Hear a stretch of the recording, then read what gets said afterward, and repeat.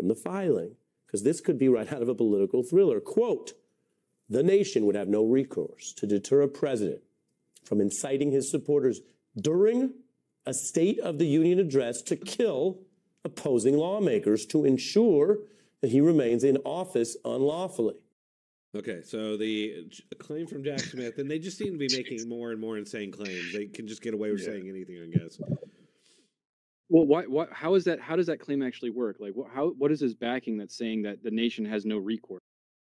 Uh, the nation could be like, no. we just can't help ourselves, man. Yeah, the,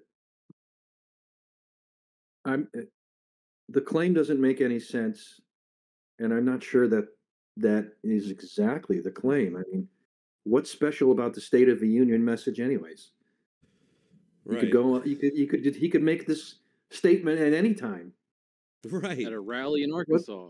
Well, it's just You know what because like he could activate everybody. It's like activating. It's just it just shows how much these people buy into their own BS. It sounds like it's it's almost intentional because he knows that. I mean, of course it's intentional, but but like it's it's like intended for like the media to make clips of Right. it, just like they're doing now. Right. Like, And it's I- like not I- even going to have any legal weight. Well, no, there. I'm not talking about any legal weight. I am. That's why I was saying at the beginning that like I, I think this is part of building a case to the to the public, or at least like seeding the idea over time more and more and more that these people have to be dealt with. We need to do something with this unsavory group, you know. And I, I think that we are coming to a point where they will start rounding up Trump supporters. But I thought I thought it was the conservatives that were being rounded up. Are they scared that they're going to get rounded up in retaliation to that? Right. I know. That's exactly. That's what it seems like, right? but they're trying to right, and they're just trying to scare the public. But think about that. Like what they're doing. They're they're basically trying to make half the country almost murderously paranoid of the other side. How often are you seeing people make comments like this? Is this a one-off? Because I'm not used to seeing it. Well, first of all, Jack Smith, let's I mean, he's not just anybody, right? And this I is a know. legal filing. pay attention to 'em.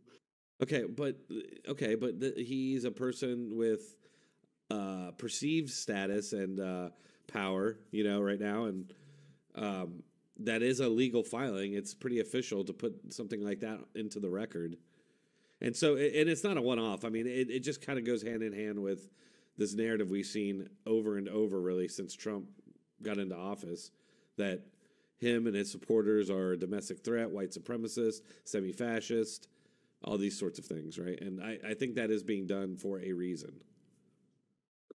It's not just mean, the- rhetoric, right? It's Division.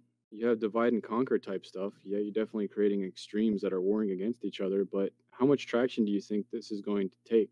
How much? How much will that come? I mean, it's got your attention. It, it you know, it, it, it got your heckles well, up. think about the oh. juries that are well. well, Think about the juries that are going to be deciding in these cases. Not just Trump, but like anybody really associated. That let's just Yeah. say let's say they do start rounding up Trump supporters for some reason. Maybe you know they made a meme like people are getting prison time for memes. So who knows what they'll concoct, right? And and they'll have some. They'll the media will be right there, make you know building up these sort of already these pre justifications for that happening when it does. That's what I'm concerned about. Yeah. I would I would agree with you on that actually because it does it does uh, it is up to the jury, right?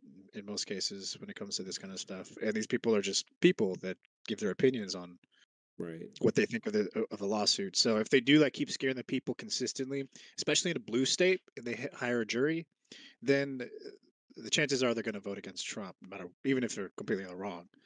They're just going or to anybody. I mean, you're ju- you're just. I think I feel like more and more they're shaving people off who just don't want to deal with it. You know, more and more people are just like, whatever. I'll just go with the flow. Oh, it's I- way easier. Oh, Well, I'm not going to be associated with these people, and it's going to be like the, cl- you know, the people, the I guess strongest willed or hardest hardest headed people that are going to be left over.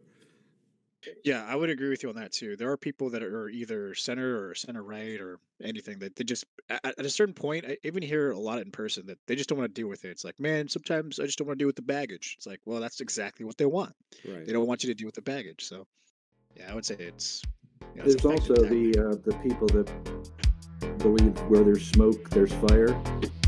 Therefore, just you know, show enough smoke, and they're eventually going to believe there's fire. Right.